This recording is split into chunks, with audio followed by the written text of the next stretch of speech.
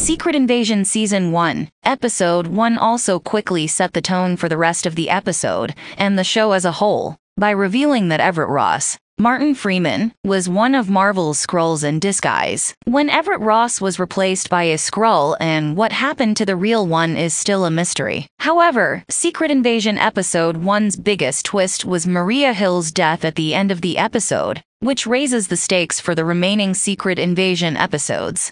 Maria Hill, died in Secret Invasion Episode 1 during a non-official mission in which she, Talos, and Nick Fury tried to stop Gravik, Kingsley Ben-Adir's Skrull group from bombing a public place in Russia.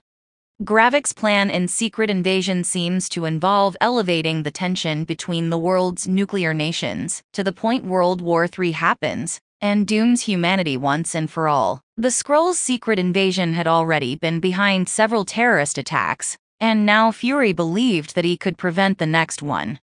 Maria Hill died after the trio failed to stop the bombing.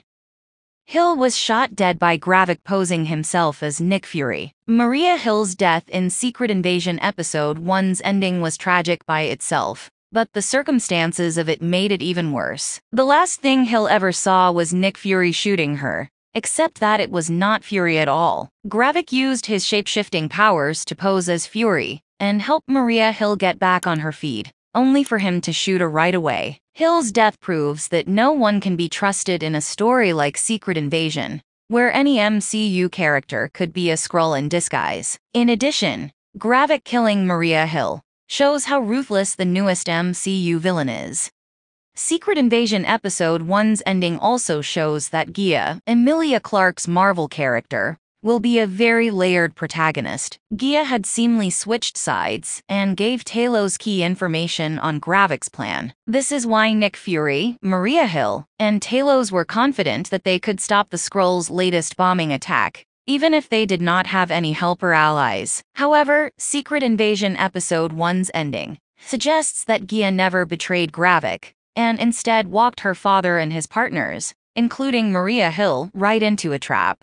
Was Maria Hill a Skrull and could the real Maria Hill return? It can be simple to assume that Maria Hill's death was a fake-out, and that a Skrull died in her stead in a series where any Marvel character can appear as a Skrull. The first episode of Secret Invasion, however, finishes with Maria Hill definitely dead, and it spends a few minutes with her, before the real Nick Fury appears. When the phony Ross passed away in the opening scene of Secret Invasion after being pursued by Talos, his body progressively transformed back into a Skrull, beginning with Ross's face turning green. Therefore, if Maria Hill was a Skrull in Secret Invasion, the same would have happened to the body of that Skrull after they were shot. Likewise, any Skrull infiltrating Nick Fury's team would probably be working for Gravik. As such, it would not make sense for Gravik to attack this hypothetical fake Hill. In addition, considering that Nick Fury himself faked his death in Captain America. The Winter Soldier, using a similar trick with Maria Hill in Secret Invasion,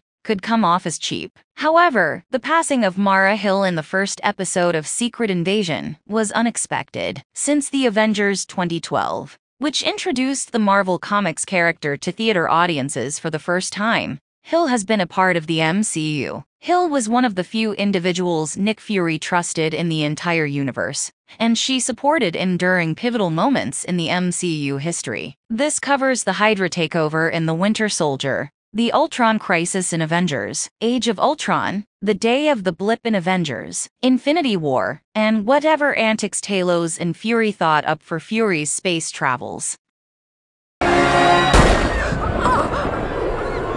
Maria Hill's death sets up the rest of Secret Invasion. Nick Fury has seen a lot in the MCU.